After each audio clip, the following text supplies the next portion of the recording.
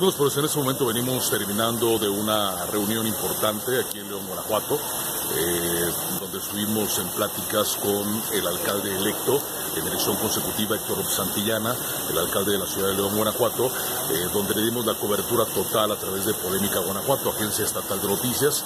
Una reunión fructífera, una reunión buena, agradable, la cual pues se generó el día de hoy, que es 4 de julio del año 2018. El día de mañana le estará entregando ya la constancia donde lo acredita como ya el presidente municipal electo. Hoy en día es presidente municipal con licencia, pero eh, pues una eh, buena reunión la cual se desarrolló. Les invito para que entren a nuestras plataformas digitales como lo es Facebook, Twitter e Instagram de Polémica Guanajuato.